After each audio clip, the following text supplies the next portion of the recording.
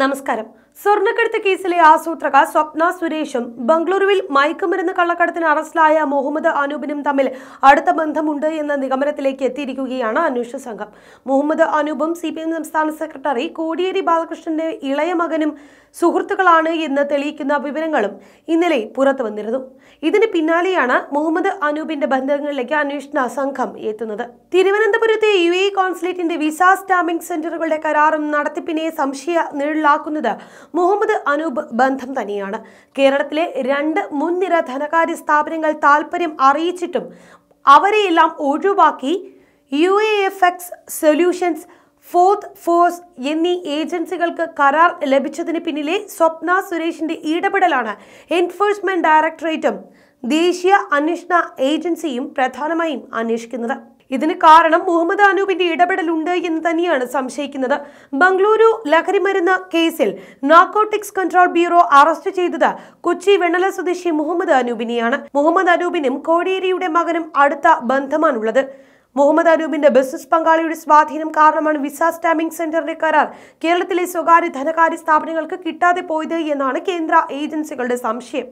ബംഗളൂരു കമ്മനഹള്ളിയിൽ അനൂപ് ആരംഭിച്ച റെസ്റ്റോറന്റിന്റെ മുതൽ മുടക്കം ഇതേ ബിസിനസ് പങ്കാളിയുടേതാണ്. തിരുവനന്തപുരത്തെ വിസ സ്റ്റാമ്പിംഗ് സെന്ററിലും ഇദ്ദേഹത്തിന് മുതൽ മുടക്ക് ഉണ്ട് എന്ന് തന്നെയാണ് അനുഷ്ഠ സംഘങ്ങൾക്ക് ലഭിക്കുന്ന വിവരം.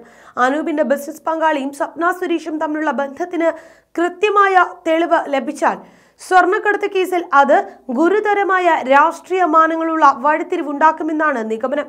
ഈ റെസ്റ്റോറന്റിന്റെ പേര് സ്പേസ് ബേ എന്നാണ്. ഇതിന്റെ പ്രൊമോഷൻ വീഡിയോയിൽ ബിനീഷ് കോടിയേരിയും പ്രത്യക്ഷപ്പെടുന്നുണ്ട്. ഇതിനൊപ്പം മുഹമ്മദ് അനൂപുമൊത്ത് കുമരകത്ത് നിൽക്കുന്ന ചിത്രങ്ങളും പുറത്തു വന്നു കഴിഞ്ഞു. കേരളം അടക്കമുള്ള അഞ്ച് ദക്ഷിണേന്ത്യൻ സംസ്ഥാനങ്ങളിൽ നിന്ന് യു എയിലേക്ക് പോകുന്നവരുടെ വിസ സ്റ്റാമ്പിംഗ് അടക്കമുള്ള സേവനങ്ങൾക്ക് പതിനയ്യായിരം ഇരുപതിനായിരം രൂപ വരെയാണ് ഈടാക്കുന്നത്. ഇതിനു പുറമെ വിദേശത്ത് നിന്ന് നാട്ടിലേക്ക് മടങ്ങുന്നവരുടെ തൊഴിൽ ദാതാക്കളുമായിട്ടുള്ള സാമ്പത്തിക തർക്കങ്ങൾ തീർപ്പാക്കുന്നതിലും ഇവരുടെ നിക്ഷേപം സുരക്ഷിതമായി നാട്ടിലെത്തിക്കുന്നതിലും ഇത്തരം സെന്ററുകൾ ഇടനിലക്കാരായി കമ്മീഷൻ വാങ്ങാറുണ്ട്.